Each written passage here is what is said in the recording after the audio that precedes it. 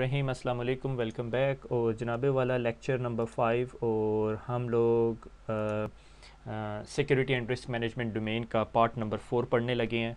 और part number four में आज हम पढ़ेंगे जी global legal and regulatory issues के, जो साइबर सिक्योरिटी वर्ल्ड है, वो एक्सपेंड हो रहा है। हर चौथे दिन, पाँचवें दिन कंपनी कोई ना कोई दुनिया के अंदर हैक हो रही होती है। हर वक्त हैकिंग अटैक्स हो रहे हैं। तो लॉ क्या कर रहा है उसके बारे में? और साइबर क्राइम डिविजन्स क्या करती हैं, क्या लाइसेंसिंग इशू हैं, हैकर किस चीज़ के पीछे जा रहे हैं, और हैकर अगर कोई चीज़ ले के दूसरी कंपनी को सेल कर देता है तो हमारे कंपनी इंटरेस्ट कैसे प्रोटेक्ट कर सकते हैं? फिर प्रोफेशनल एथिक्स क्या हैं? और इसके अंदर सबसे ज़्यादा फोकस जो होता है, वो आपके I S C two code of professional ethics पे होता है, ठीक है? कि आई एस सी टू बहुत इंटरेस्टेड होती है फाइंड आउट करने के लिए कि भाई आप इन प्रोफेशनल एथिक्स को फुलफ़िल करेंगे, ठीक है? यानी प्रोफेशनल ड्यूटी इखलाकियात जिसे हम कहते हैं, ठीक है? हिंदी में उसके लिए क्या वर्ड है या बंगाली में या और जितने डिफरेंट लोग हमारे साथ काम कर रहे हैं, पढ़ रहे हैं तो मुझे अनफॉर्चुनेटली उधर का वो नहीं पता कि क्या एथिक्स को ट्रांसलेट कैसे करेंगे, मगर I would try to explain it तो hack across the globe Norse का ये इमेज है N O R S C अगर आप नोर्स वेबसाइट पे जाएँ तो रियल टाइम ही चल रहा होता है, ठीक है? तो ये इमेज है कि दुनिया में हर वक्त हैक्स हो रहे होते हैं ठीक है? तो उन हैक्स के बारे में आ, के बारे में थोड़ी सी डिस्कशन करती है बुक आपकी कि क्रिप्टो लोकल रैंसमवेयर क्या होता है कि ओवर द ईमेल आपको कोई ईमेल भेजता है। नॉर्मली इसके डिफरेंट किस्म के वैरायटीज़ हैं ठीक है? और उनमें से एक वैरायटी ये है कि आपको एक पीडीएफ फ़ाइल आती है आप उस पीडीएफ फ़ाइल को डबल क्लिक करते हैं और वो आपकी लोकल हार्ड ड्राइव के तमाम डाटा को इनक्रिप्ट कर देती है। ठीक है? और वो इनक्रिप्ट भी करती है R S A ninety six right now as we speak 2016 फरवरी के अंदर एन एस ए के पास कोई सोल्यूशन नहीं है इसको डिक्रिप्ट करने का, ठीक है?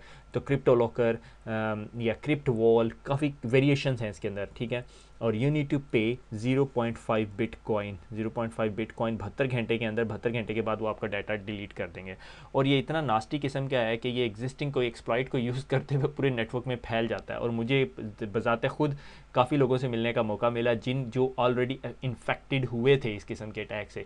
और उनके पास फायरवॉल्स भी थी, उनके पास बेस्ट आईपीएस सॉल्यूशंस भी लगे हुए थे, मगर उसके बावजूद ये अटैक पास ऑन हो गया था। उसके लिए the only solution that can help you कि आप अपने यूज़र को बेस्ट ट्रेन करके रखें अगेंस्ट दी साइबर थ्रेट्स और उसके बाद आपके पास इंसिडेंस रिस्पॉन्स प्लान होना चाहिए कि जिस तरह हमारे पास ये अटैक आया है तो उस अटैक को कंप्रोमाइज़ बचाना कैसे है? ठीक है? तो इस तरह के काम करने के लिए जो सा है, इस तरह के अटैक को हम वेयर कहते हैं कि आपके सारे के सारे डाटा को कॉपी कर लिया और उसके बाद आपको कहता है, इतने पैसे दो, वरना नहीं करूँगा। जिस तरह अगवा नहीं होता, इस तरह अगवा बरए तवान फिर उसके बाद चाइल्ड पोर्नोग्राफी के अंदर स्केयर वेयर होता है कि अगर आप किसी एक ऐसी वेबसाइट के ऊपर गए हो जो कंप्रोमाइज है और वो आपको पॉपअप विंडो देती है और कहती है your computer has been locked actually हुआ नहीं होता, मगर आपको वो विंडो से बाहर निकलने में बड़ा मुश्किल होती है और उसके बाद कहता है, यहाँ पे पैसे जमा कराओ, अगर नहीं जमा कराए तो आपको जो सा है लॉ इन्फोर्समेंट एजेंसी जो सी है, आपको पकड़ लेगी. हालाँकि ऐसा कोई चक्कर नहीं होता, ये rule by the law enforcement agency नहीं, मगर अपेरेंटली ये वेबसाइट ऐसी होती है कि आपको दिखा रही होती है। खुद ही उन्होंने चाइल्ड पोर्नोग्राफिक स्टफ़ रखा होता है। आप जिस तरह से विज़िट करते हो, आपको पकड़ लेते हैं, ठीक है? आप गिल्टी होते हो, इस वजह से आपको पकड़ लेते हैं। पिछले दिनों यूके के अंदर और यूरोप के अंदर काफ़ी सारे टैग चले कि आपके घर में भेजते हैं, कि आपने पोर्नोग्राफिक वेबसाइट पे गए हो और इसी तरह सेक्शुअल एक्सप्लाइटेशन ऑफ़ चाइल्ड और ये वो, इसलिए आप ये फ़ाइन पे करो। बाद में पता चला, वो कोई पीछे से लीगल एजेंसी नहीं थी, वो किसी ने अपना ही अपना स्पैम शुरू किया हुआ था और उसने लाखों करोड़ों रुपये का नुकसान किया था लोगों का। क्योंकि लोग गिल्टी होते हैं, इस वजह से वो समझते हैं ओ मैं जेल में चला जाऊँगा या कोई और मसला हो जाएगा या मेरी बीवी बच्चों को पता चल जाएगा या मेरे माँ बाप को पता चल जाएगा। इस वजह से लोग जो उनसे, वो थोड़ा गिल्ट फील करते हुए पे कर देते हैं। हालाँकि वो हैकर्स की वेबसाइट होती हैं। अच्छा इसी तरह एक इंपॉर्टेंट चीज़, एक सेकेंड मुझे ये इमेज थोड़ा ऊपर लाना पड़ेगा, वो कर लेंगे। इन्फॉर्मेशन सिक्योरिटी के अंदर बहुत सारे लॉज हैं, ठीक है? मगर ये लॉ आपको प्रोटेक्ट करते हैं अगर आप इन्वेंटर हो या आपकी कंपनी कोई चीज़ प्रोडक्ट बना रही है, ठीक है? Those laws are call intellectual property law ठीक है?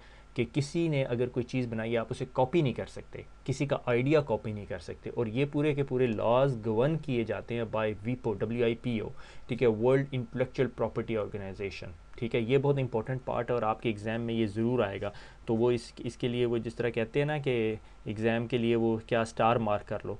तो जी, इसको स्टार मार्क कर लो, ये बहुत इंपॉर्टेंट टॉपिक है मैं आपको गारंटी देता हूँ आपके पास एग्ज़ाम में से क्वेश्चन आएगा। अच्छा अब सवाल इसके अंदर एक ये पैदा होता है कि ये इंटेलेक्चुअल प्रॉपर्टी आपको बड़ी क्लियरली समझ आनी चाहिए कि क्या चीज़ इंटेलेक्चुअल प्रॉपर्टी है, क्या पेटेंट है, क्या ट्रेडमार्क है, क्या कॉपीराइट है। तो सबसे पहले पेटेंट की बात करते हैं, ठीक है? इंडस्ट्रियल प्रॉपर्टी के लिए ये यूज़ होता है कि इंडस्ट्री किसी चीज़ को काम कर रही होती है। से एग्जांपल मैं एक यूनिवर्सिटी में काम कर रहा हूँ, मैं किसी इंडस्ट्री में काम कर रहा हूँ, मैं कुछ चीज़ इन्वेंट कर देता हूँ, ठीक है? दैट इज़ माई पेटेंट ठीक है? से फॉर एग्जांपल मैंने पानी इकट्ठा करने के लिए, इसकी मैं एग्जांपल मोस्टली ये देता हूँ कि रेन वाटर इकट्ठा करने के लिए मैंने एक ऐसी डिवाइस बनाई जो एक एक ऐसा स्ट्रक्चर बनाया जो मेक श्योर sure करता है कि ये पानी ज़्यादा से ज़्यादा रेन वाटर इकट्ठा किया जाए। तो ये जो डिज़ाइन है, इसका मैंने पेटेंट कर लिया। अब मेरे अलावा कोई भी बंदा ये डिज़ाइन सेल नहीं कर सकता। ठीक है? इसी तरह, जो सिस्को या ये जो रिवर बेड है रिवर बेड हमारी वेब कंप्रेशन और डाटा कंप्रेशन की टेक्नोलॉजी उसके पास अराउंड 200 प्लस 20 प्लस पेटेंट्स उसके ऐसे हैं जो लेटेस्ट प्रोडक्ट के अंदर आए थे ठीक है? तो वो पेटेंट्स होते हैं। और ये 20 साल के बाद आ, आ, के बाद ये पेटेंट लॉ ख़त्म हो जाता है। यानी अगर मैंने आज एक चीज़ इन्वेंट की कि गाड़ी के अंदर कोई एक ऐसी चीज़ बना दूँ जो गाड़ी को एक एफिशिएंट करे तो वो पेटेंट है ठीक है? ग्लास का मैं पेटेंट नहीं बना सकता। ठीक है? मगर कोई एक ऐसी चीज़ जो पेटेंट होने के काबिल हो, उसके लिए एक डिफरेंट डिबेट है कि क्या चीज़ हो सकती है। उसके लिए मैंने आपको एक बकायदा लिंक दिया है वीपो का, जिसके ऊपर बहुत डिटेल में केस स्टडी है। और मैं आपको ज़रूर सजेस्ट करता हूँ for your C I S P preparation please do visit that क्योंकि अगर मैं पेटेंट पे बात करने लगी हूँ तो पेटेंट एक पूरी की पूरी डोमेन है। कंपनीज़ अपने पेटेंट्स बनाती हैं, ठीक है? सिस्को के पास काफ़ी सारे पेटेंट्स हैं, ठीक है? उसके बाद दूसरा कॉन्सेप्ट आ जाता है trademark trademark protect the goodwill of the organisation ठीक है ट्रेडमार्क गुडविल है। जिस तरह उर्दू आई टी का लोगो, हमारा ट्रेडमार्क है, मगर हमने रजिस्टर नहीं करवाया हुआ, ठीक है? मगर इसी तरह डिफरेंट कंपनीज़ के ट्रेडमार्क्स हैं। मैं ये यहाँ पे इस स्लाइड को, इस पार्ट को थोड़ा ऊपर ले आता हूँ, ठीक है? तो ये यहाँ से आपको आइडिया हो जाएगा कि ट्रेडमार्क होता क्या है, ठीक है? तो ट्रेडमार्क क्या हो सकता है?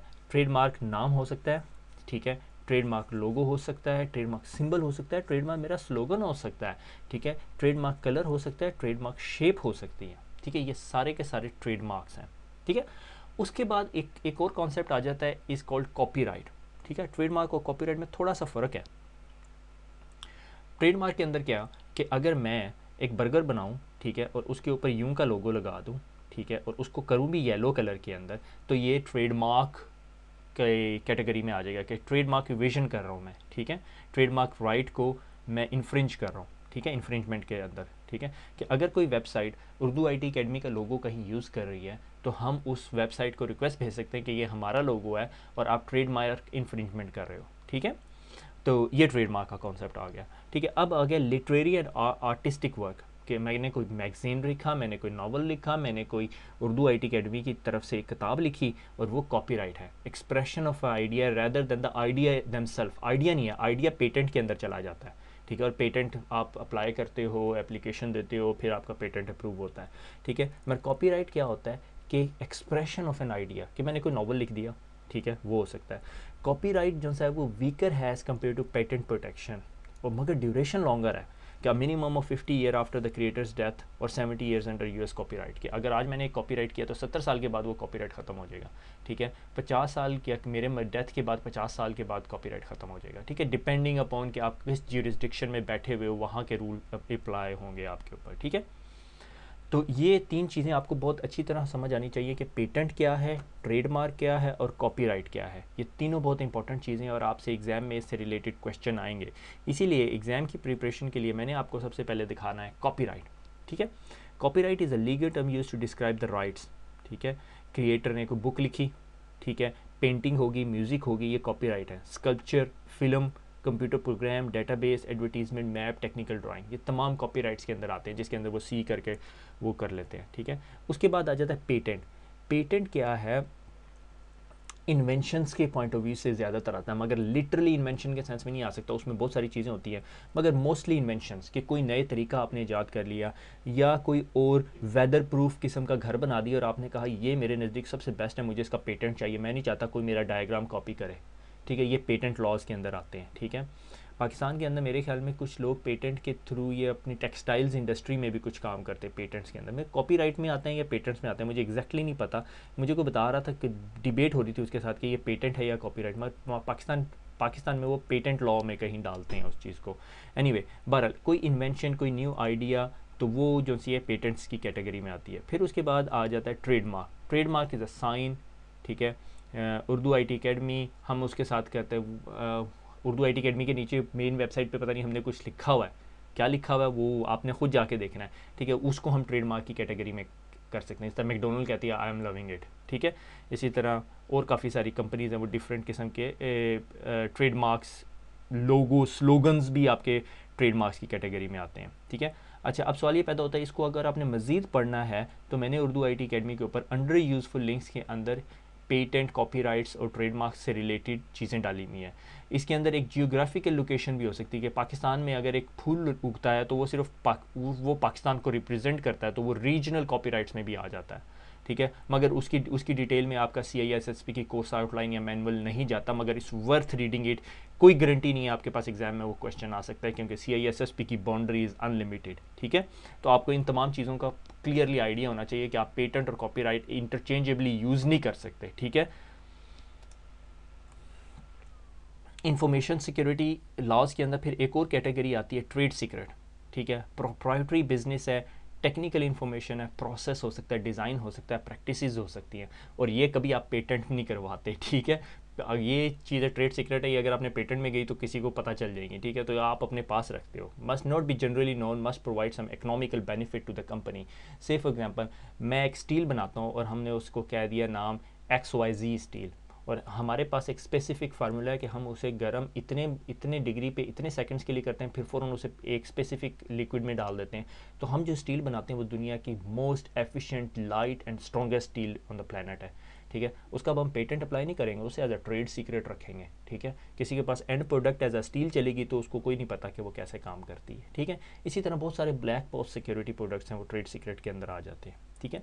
अब इसके बाद लाइसेंसिंग इशू लाइसेंसिंग या E U L end user licensing agreement ठीक है?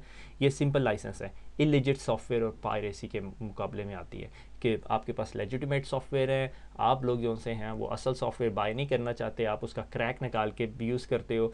तो एक एक कंपनी जो है, एक इंस्टीट्यूट है, उसने स्टडी की कि दुनिया में कितने परसेंट सॉफ्टवेयर जो से हैं, वो लेजिटमेट और इलेजिटमेट हैं, यानी सॉफ्टवेयर पायरेटेड हैं या ओरिजिनल है, ठीक है? क्योंकि क्रैकर्स आर ऑलवेज वर्किंग ठीक है? आप एक गेम बनाते हो गेम का क्रैक मिलता है ना, आप लोग बहुत सारे खेलते हो डिफरेंट गेम्स ठीक है? तो उन्होंने वर्कआउट किया कि 40 से 45 परसेंट यानी अगर एक सॉफ्टवेयर के इक्विवेलेंट उसी की एक कॉपी जो सी पायरेटेड चल रही है, ठीक है? तो most of our Asian world is known for this और फिर every two dollar worth of legal software purchase one dollar worth software was pirated कि अगर दो पाउंड का या दो डॉलर का एक सॉफ्टवेयर है तो उसके इक्विवेलेंट एक डॉलर का सॉफ्टवेयर कहीं ना कहीं पायरेट हुआ हुआ है।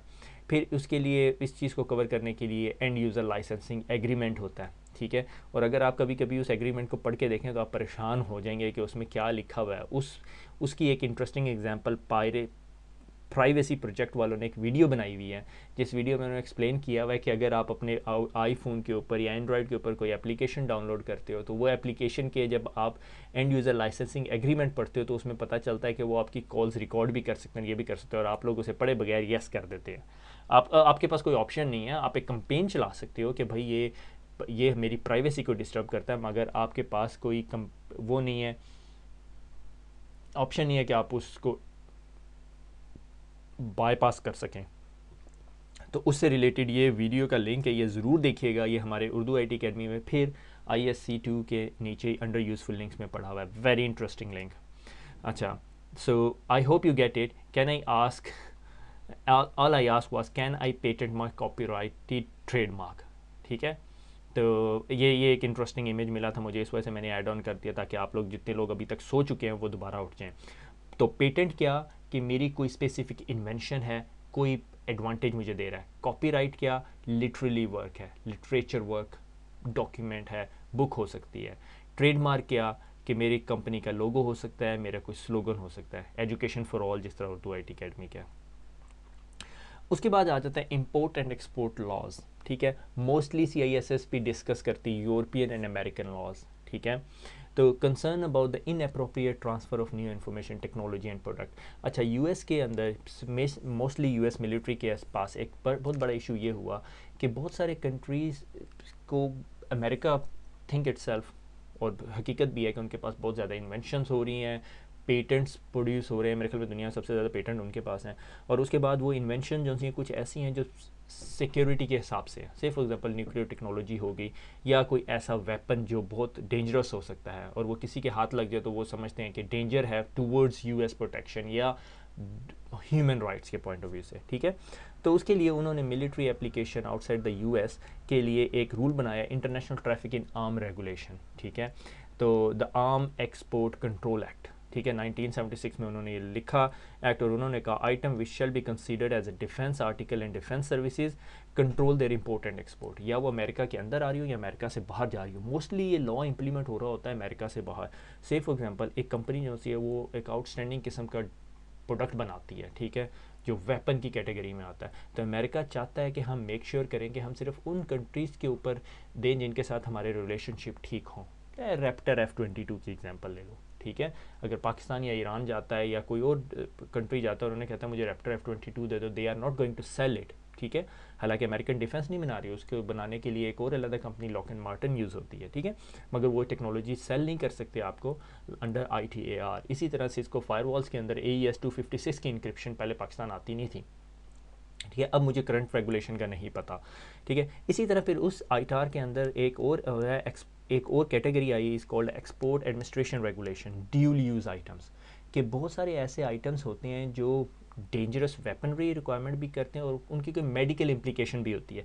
इसके लिए मैं एग्जांपल ढूंढता रहा, मुझे मिली नहीं, मगर मुझे द लास्ट मिनट एक example milli. I am not sure the authenticity of that मगर एक लेज़र यूज़ होती है, बड़ी प्रिसीजन वाली लेज़र होती है, जो आपकी किडनी स्टोन के लिए यूज़ होती है, और वही लेज़र किसी और डेंजरस वेपन की डेटोनेशन के लिए इस्तेमाल हो सकती है, ठीक है? तो ये ड्यूल यूजेज हो गई, ठीक है?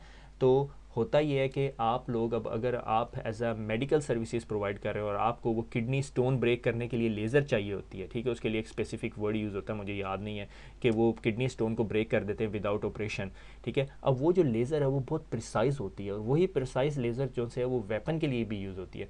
तो उसको अंडर एक्सपोर्ट एडमिनिस्ट्रेशन रेगुलेशन के ज़रिए इस्तेमाल किया जा सकता है कि ड्यूल यूज़ आइटम्स हैं। अब ई ई ए आर के अंदर ना को काफ़ी सारे आइटम्स या कैटेगरीज हैं, उनमें से दो कैटेगरीज हमारे मतलब की हैं। एक हमारे मतलब की है कंप्यूटर और दूसरा है category five part one and part two ठीक है? अब आप लोग यहाँ पे बैठे सोच रहे हो यार कंप्यूटर किस तरह डेंजरस हो सकता है? ठीक है? बहुत डेंजरस हो सकता है। अगर आपके पास एक वर्ल्ड सुपर कंप्यूटर है जो E S two fifty six encryption आधे घंटे में ब्रेक कर देता है और किसी ऐसे बंदे के पास हाथ लग गया जिसके अमेरिका नहीं चाहता कि आपके हाथ लगे, या वो कोई और डेंजरस एक्टिविटी करना चाहता है, या कोई एक ऐसी चीज़ जो आपके डॉस अटैक कर सकती है, इतना एफिशिएंट किस्म का कि एक ही कंप्यूटर बैठ के आप पूरी दुनिया को हिला दें तो America don't want it to be exported out of the country ठीक है, इसी तरह टेली कम्युनिकेशन इक्विपमेंट है कि अगर आपकी एटीएम मशीन को स्निफ कर लिया जाए और वो डेस थ्री डेस ए सारी इंक्रिप्शन ब्रेक कर ले तो don't want to export that अच्छा इसके दौरान इन तमाम रेगुलेशंस के अंदर ही अंदर आईटीआर और ई ए आर के अंदर एक और चीज़ is called a Wassenaar arrangement Wassenaar arrangement जो है ना तो 40 से 45 इकतालीस कंट्रीज़ के दरमियान एक एग्रीमेंट है। अनफॉर्चुनेटली हमारे कोई कंट्री उसमें इंक्लूडेड नहीं है ठीक है? आ, वो क्या है कि तमाम कंट्रीज़ जो ह्यूमन राइट्स पे एग्री करते हैं उनके दरमियान एक एग्रीमेंट है जिसके मुताबिक वो एक एडवांस टेक्नोलॉजीज़ जो से आपस में एक दूसरे के साथ शेयर कर सकते हैं, ठीक है? उनके ऊपर फिर I T R E R थोड़ा रिलैक्स हो जाता है, ठीक है? से फॉर एग्जांपल अमेरिका अगर एक स्निफिंग सॉफ्टवेयर बनाता है, जो अवाम पे सर्विलेंस के तौर पे काम कर सकता है, ठीक है? तो वो ऑस्ट्रेलिया बाय करना चाहता है तो अगर ऑस्ट्रेलिया अमेरिका के तमाम ह्यूमन राइट्स लॉज को चिट टिक करता है और उसने वेजनर एग्रीमेंट किया हुआ है तो they can import and export those type of technologies between them तो एक एक उसकी बहुत इंपॉर्टेंट एग्ज़ाम्पल इंट्रूजन सॉफ्टवेयर है। अमेरिका में एक कंपनी है, सिर्फ़ एग्ज़ाम्पल हम एक कंपनी एक बनाते हैं और हम वो कंपनी बना के हम एक सॉफ्टवेयर बनाते हैं छोटा सा सॉफ्टवेयर है, किसी के थ्रू द ईमेल भेजें और जिस तरह वो ईमेल खोले इवन उसे क्लिक ना करें तो उसके कंप्यूटर पर वो इंस्टॉल हो जाए और उसकी तमाम इन्फॉर्मेशन जो सी हमारे सर्वर पर अपलोड कर दें। सर्विलेंस सॉफ्टवेयर है। अमेरिका अब ये चाहता है कि ये मैं सॉफ्टवेयर किसी को सेल नहीं करूँ अनटिल अनलेस ये 41 कंट्रीज़ ने वेजनर एग्रीमेंट किया अब हम इनको एक्सपोर्ट कर सकते हैं। तो मैं वो सॉफ्टवेयर सेल कर सकता हूँ, ठीक है? अब वो अगर किसी ऐसे कंट्री या ऐसी हुकूमत के पास चला गया, मैं अब without taking any name say for example ABC country के पास चला गया, और वो कंट्री ह्यूमन राइट्स का ख्याल नहीं करती, वो अपने तमाम सिटीजन्स के कंप्यूटर पे बैठा देती है। ठीक है इंस्टॉल कर देती है। तो क्या इम्पैक्ट होगा कि वो कंट्री अपने तमाम सिटीजन्स की सर्विलेंस सर्विलेंस कर रही है without complying with the human rights ठीक है? तो इसलिए वेजनर एग्रीमेंट इन्होंने प्लेस किया ताकि थोड़ी रिलैक्सेशन कर दी जाए बिटवीन 41 कंट्रीज़ जो वेरी एग्री करते हैं अगेंस्ट अमेरिकन लेजिस्लेशन अच्छा उसके बाद आ जाता है privacy privacy is very important ठीक है? प्राइवेसी हर बंदा चाहता है। ठीक है? मैं नहीं चाहता कि कोई मेरी ईमेल्स पढ़े। मैं नहीं चाहता कि मेरी पर्सनल आइडेंटिफाइबल इन्फॉर्मेशन मैं नहीं चाहता आपको पता चले मेरी उम्र कितनी है, ठीक है? मैं चालीस साल का हूँ या बीस साल का हूँ, ठीक है? और without having offending any one ठीक है? सो पर्सनल आइडेंटिफाइबल इंफॉर्मेशन जो सी है स्टोर एवरीवेयर मैं डॉक्टर के पास जाता हूँ, मैं फॉर्म फिल करता हूँ डॉक्टर के पास मेरी हिस्ट्री है, मैं नहीं चाहता वो हिस्ट्री मेरे पेरेंट्स को पता चले, मेरे फ्रेंड्स को पता चले। मैं एच आर में जाता हूँ, मैं अपनी रिलीजियस चीज़ें देता हूँ। पाकिस्तान के अंदर अभी थोड़ा सा इसकी अवेयरनेस बहुत कम है, मगर पाकिस्तान मैंने सुना है पी आई आई या person data data privacy act आ रहा है, ठीक है? कब इम्प्लीमेंट होता है, कब अवेयरनेस क्रिएट होती है it's a long long way to go ठीक है? तो organisation for economical cooperation and development principle ties closely to E U data protection legislation कि ये एक ऑर्गेनाइजेशन है और उसने एक प्रिंसिपल्स बनाए हुए हैं और वो यूरोपीय यूनियन में डाटा प्रोटेक्शन लेजिस्लेशन के साथ टाई इन होते हैं, यानी बाइंड होते हैं, ठीक है? अच्छा पूरी दुनिया के अंदर जो बेस्ट डाटा प्राइवेसी यानी आपकी पर्सनल इन्फॉर्मेशन के राइट्स हैं, वो सबसे ज़्यादा यूरोप के अंदर है, और यूरोप में सबसे टॉप क्लास इस टाइम जर्मनी के अंदर है कि कोई कंपनी आपकी इन्फॉर्मेशन होल्ड करती है, आप उन्हें कॉल करते हो, उन्हें बताते हो, मेरी इन्फॉर्मेशन जो तुमने होल्ड की, मुझे बताओ तुम्हारे पास क्या इन्फॉर्मेशन है?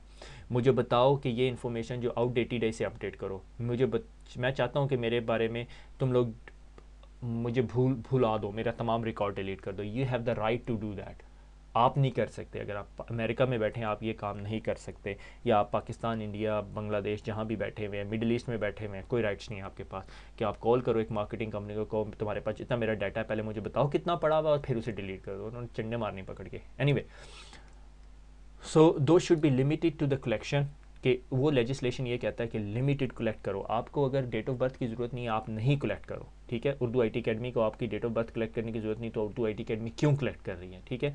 रेलिवेंट टू द पर्पज़ आप जिस मकसद के लिए कलेक्ट कर रहे हो, सिर्फ़ उसी मकसद के लिए यूज़ कर सकते हो। ये ना हो कि आप ये इन्फॉर्मेशन उठा के दोबारा मार्केटिंग के लिए भेज दो।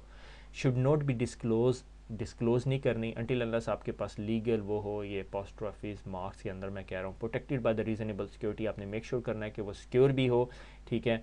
ओपननेस प्रिंसिपल ऑडिटेबल हो कहाँ कहाँ आपका डाटा पड़ा हुआ है, ये ना आपको पता ही ना हो, आपको पता चले एक बंदा जो है आपकी कंपनी में उसने हार्ड ड्राइव पे बैकअप किया हो, पूरी की पूरी डाटाबेस का और वो हार्ड ड्राइव अपने घर लेके जाता है।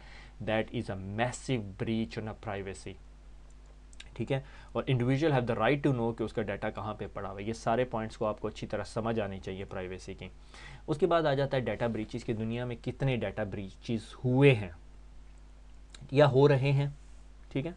करंटली ठीक है? एक चीज़, एक टर्म कहलाती incident a security event that compromise the integrity confidentiality availability कि कुछ हुआ जिससे आपकी कॉन्फिडेंशियलिटी इंटेग्रिटी अवेलेबिलिटी कंप्रोमाइज़ होगी। मोस्ट रिसेंटली एचएसबीसी की जो वेबसाइट थी, वो कंप्रोमाइज़ हुई थ्रू द डॉस अटैक तो आप इंटरनेट बैंकिंग के जो यूज़र थे, वो वेबसाइट पर लॉग नहीं कर सकते थे। ठीक है? ये ब्रीच नहीं था इंसिडेंट था। ठीक है? हैकर कोई इन्फॉर्मेशन निकाल के नहीं लेके गया, मगर उसने वेबसाइट डाउन कर दी, ठीक है?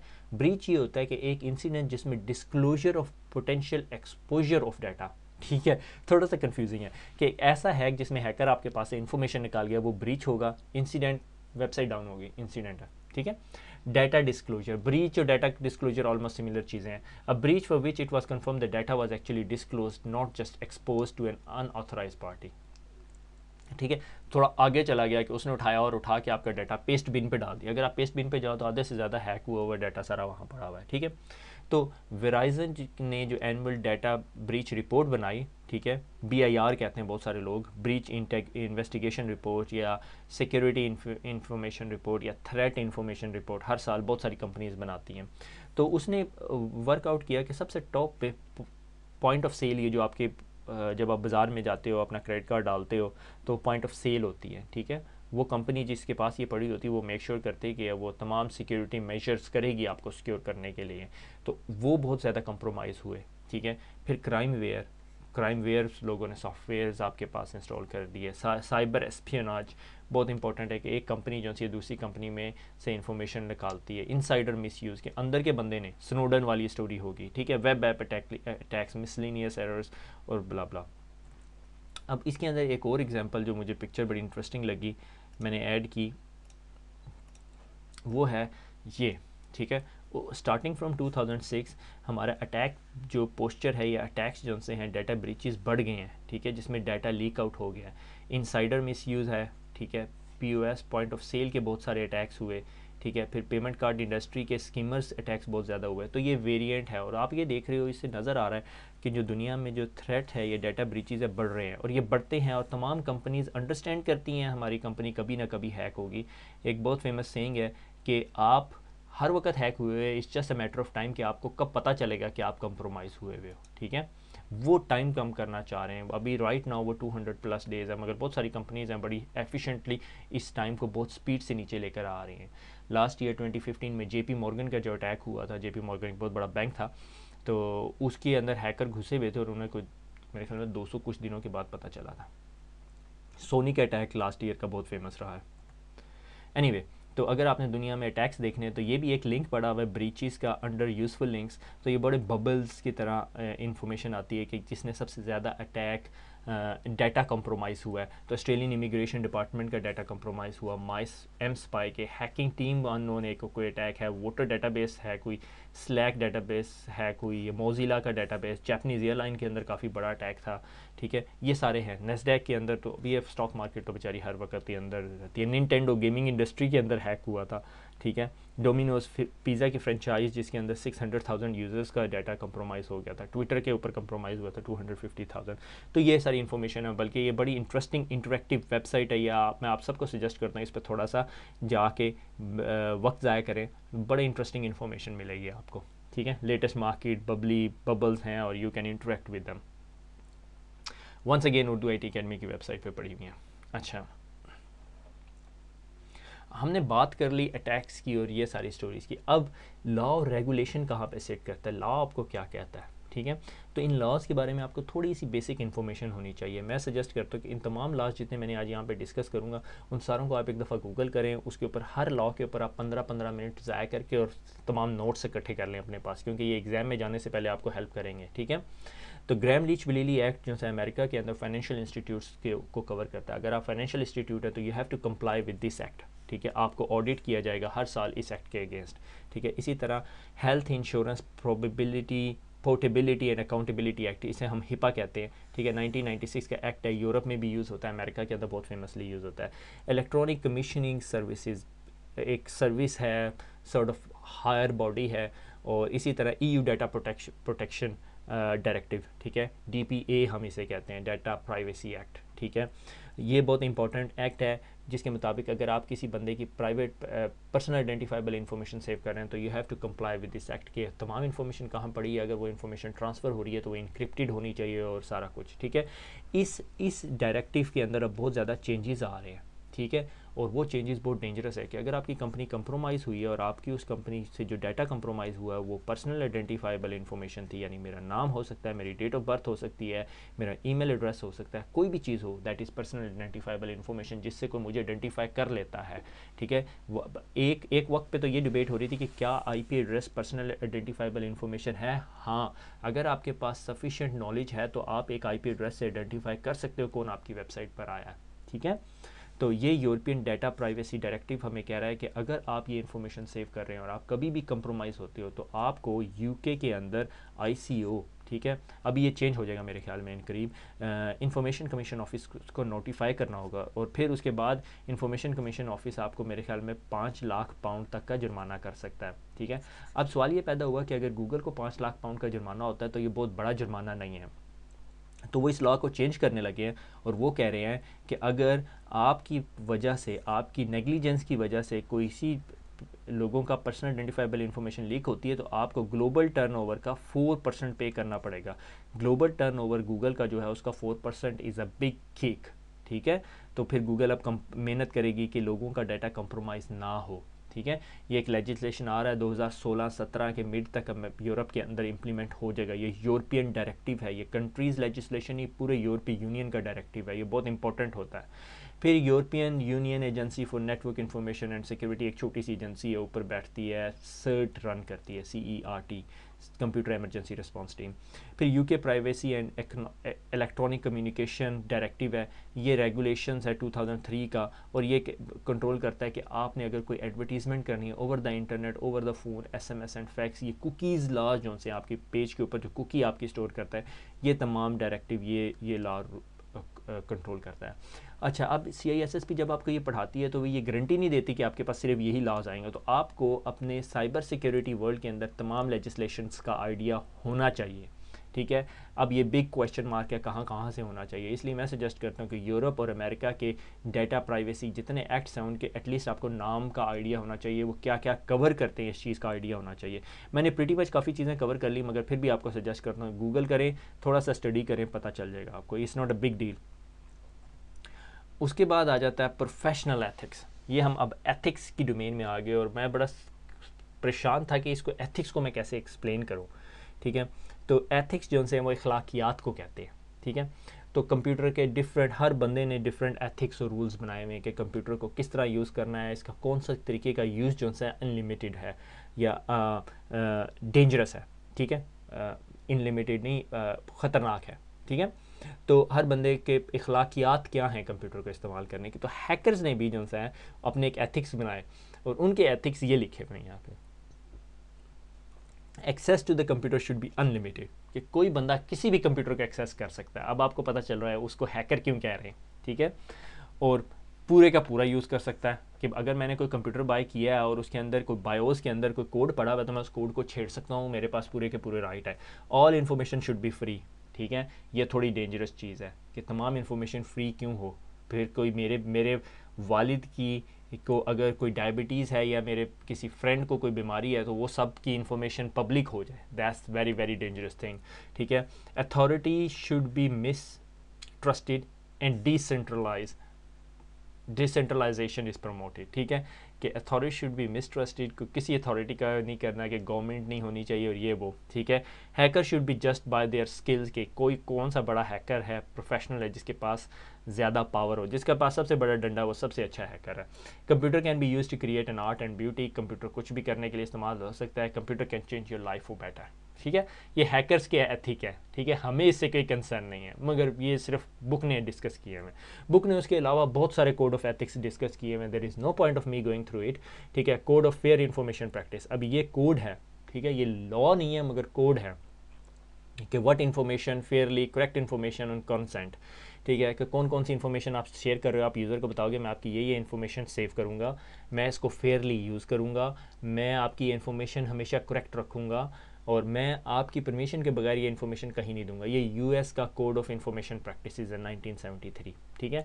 फिर इसी तरह इंटरनेट आर्किटेक्चर बोर्ड है, ठीक है? ये आरएफसी के अंदर भी आता है एथिकल यूज़ ऑफ़ इंटरनेट कि मैं जब भी इंटरनेट वो एज्यूम करते हैं कि जब भी कोई बंदा इंटरनेट से कनेक्ट करता है तो वो इस लॉ को एडहेयर कर रहा होता है, यानी उसको मान रहा होता है कि ये इसकी अखलाकियात का ख्याल रखेगा।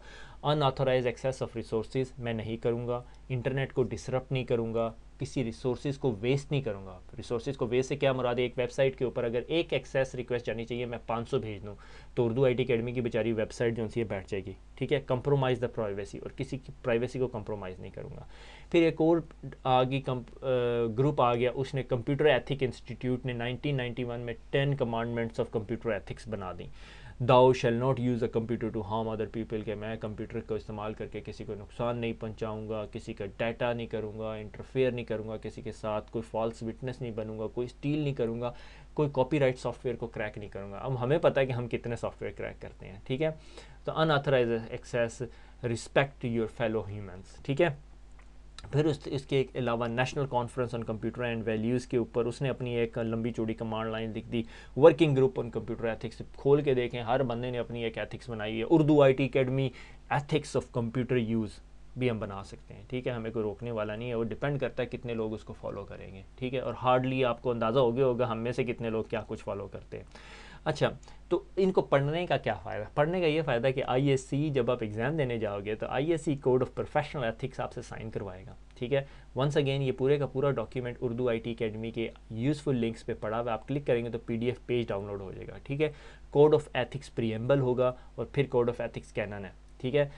हम सेफ्टी वेलफेयर ड्यूटी प्रिंसिपल हर चीज़ का ख्याल रखेंगे। हम किसी नेटवर्क को हैक नहीं करेंगे किसी को कंप्रोमाइज़ नहीं करेंगे। किसी बंदे को अगर चाइल्ड पोर्नोग्राफी करते हुए देखेंगे तो उसको रिपोर्ट करेंगे और ये वो अच्छे सिटीज़न अच्छे अखलाकियात देंगे।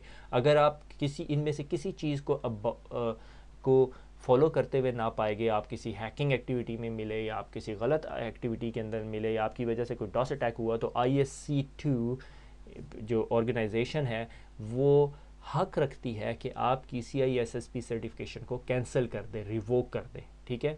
तो ये बहुत इंपॉर्टेंट है, इसलिए आप कोड ऑफ़ एथिक्स जब ये साइन करते हो तो आप मेन श्योर करते हो कि जब मैं C I S S P professional बनूँगा तो मैं इन एथिक्स का ख्याल रखूँगा, ठीक है? और ये काफ़ी चीज़ें जब आप कर रहे होते हो या आप हैकिंग पढ़ रहे होते हो तो आप बहुत सारी चीज़ों का ख्याल नहीं रख सकते, ठीक है? कोड ऑफ़ एथिक्स कहते हैं?